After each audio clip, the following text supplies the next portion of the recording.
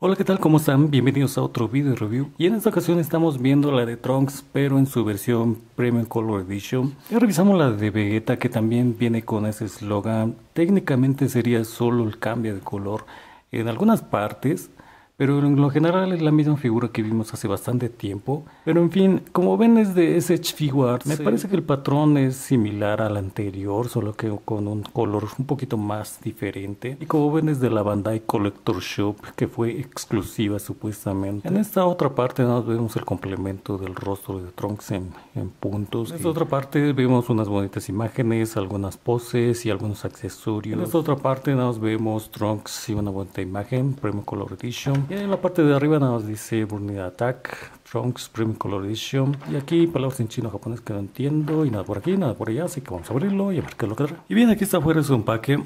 Como estaba mencionando, este es un repintado de la figura original que vimos hace bastantes años. Y como también comentaba, me parece que es bastante bueno que saquen estas versiones nuevamente.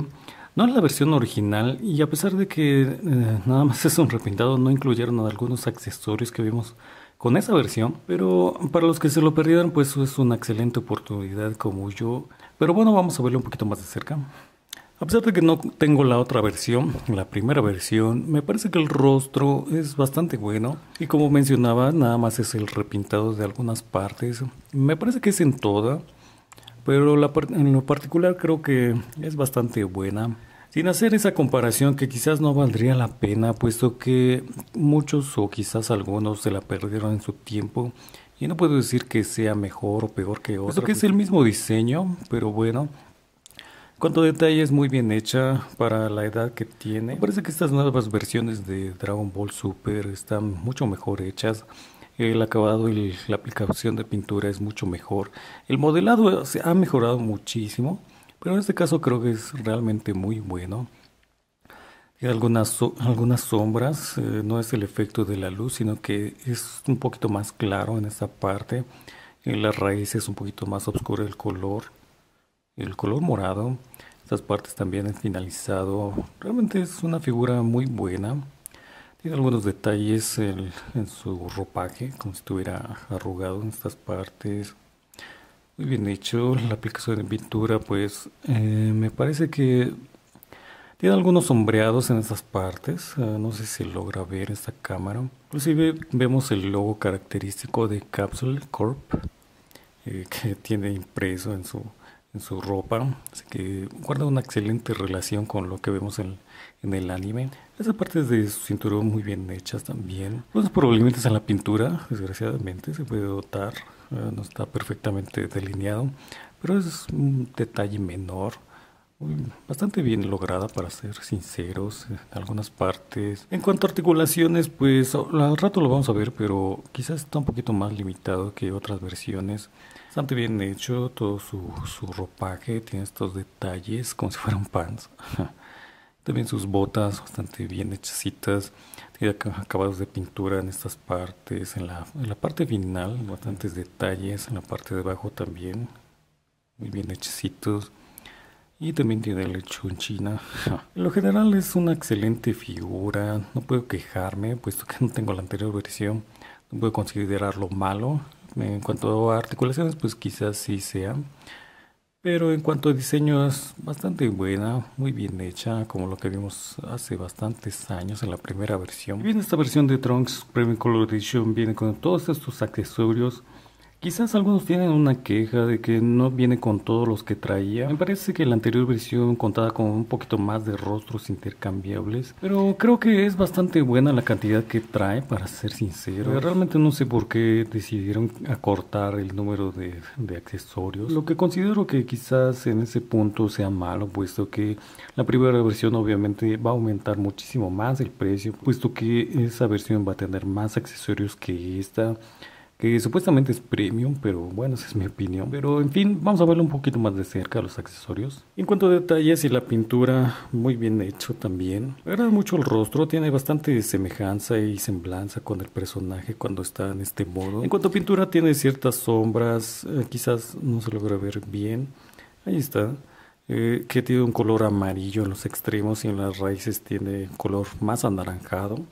Bastante bonito, muy bien hecho. Estas partes tienen sombras de color anaranjado que realzan más eh, este, este cabello, bastante bien moldeado, bastante bien hecho. La aplicación de pintura está excelentemente bien aplicada en, en las cejas, también los ojos y esta pequeña linecita característica de los personajes de anime. la boca está perfectamente bien hecha. Me agrada mucho este rostro, a pesar que es el neutral. Y también viene con estos dos rostros adicionales. Aquí mostrando los dientes, eh, con la boca abierta, de bien hecho.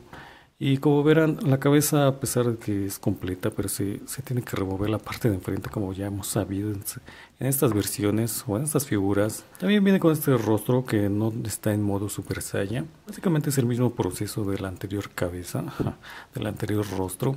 Tiene que remover el mechón de enfrente y ya está.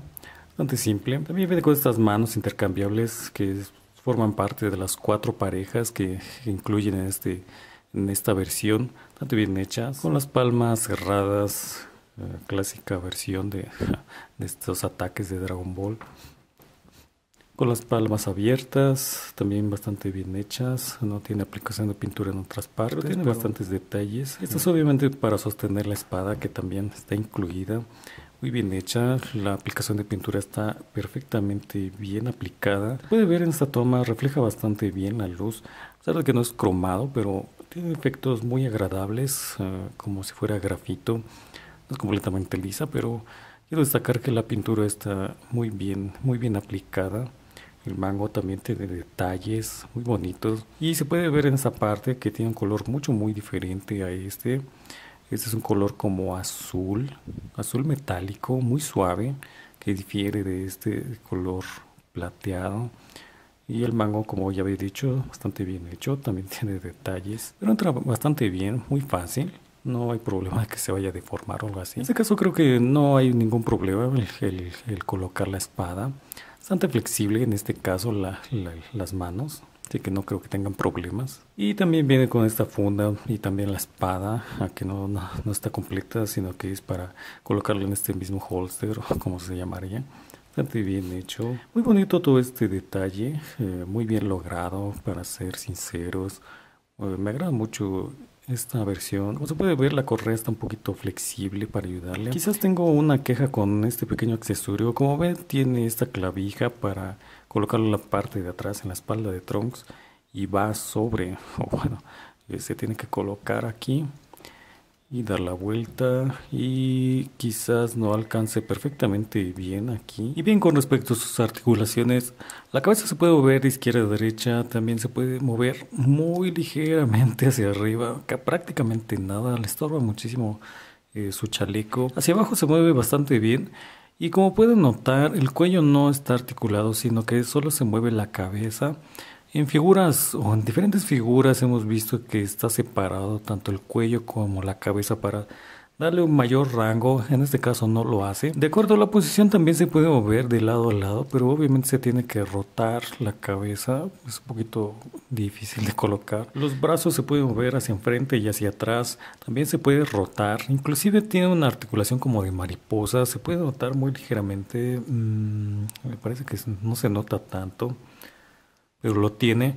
Pero a pesar de ello no le guarda mucho espacio. Como pueden notar, se puede mover hacia adentro y hacia afuera. El hombro también se puede mover de arriba a abajo. También los brazos se pueden hacer bastante amplio. Y hacia abajo también. Este diseño es bueno, pero no tan bueno como para hacer el movimiento hacia enfrente de los brazos. Quizás no se pudo hacer, puesto que como tiene esta, este logo de Capsule Corp, no se puede rotar el bis, sino que se rota desde el hombro hasta el codo, ah, pero aún así no le guarda mucho espacio. Este está un poquito más limitado. Así que solo se puede mover muy ligeramente hacia enfrente. Hasta ahí su límite. El codo tiene doble unión, bastante bien el movimiento. Las manos se pueden rotar, mover de izquierda a derecha y de acuerdo a la posición se puede mover de arriba a abajo. El pecho no estoy tan seguro del movimiento, me parece que es una pieza eh, diferente. Se puede mover también muy ligeramente hacia enfrente y hacia atrás, eh, tiene ese ligero movimiento. También hacia los lados, pero está bastante limitado. El torso, como ven, se puede mover izquierda-derecha, pero también pues, tiene bastante limitantes. Puede mover hacia enfrente y hacia atrás también, independientemente del pecho. También se mueve ligeramente hacia los lados. La cintura, como ven, también se puede mover izquierda-derecha. Las piernas se pueden mover hacia enfrente y hacia atrás. Como ven, este diseño ya lo hemos visto. Se pueden bajar las piernas para ayudarle muchísimo más al rango en las patadas hacia enfrente y hacia atrás. También tiene bastante split. La rodilla tiene doble unión, está perfectamente bien articulada. Los pies se pueden mover de arriba a abajo, también se puede mover izquierda a derecha.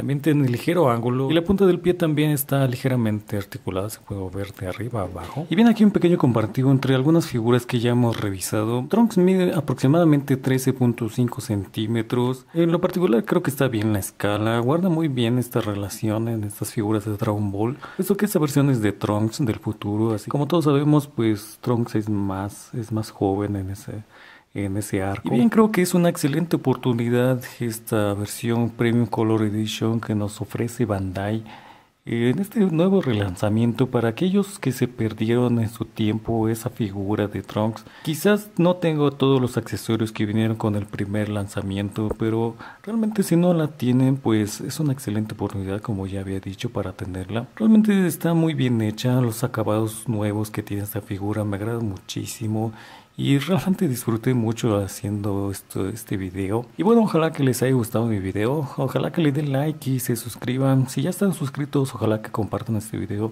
Si no lo están, ojalá que lo hagan para más figuras que están por venir. Y bueno, nuevamente gracias por ver mi video y nos vemos hasta la próxima y bye.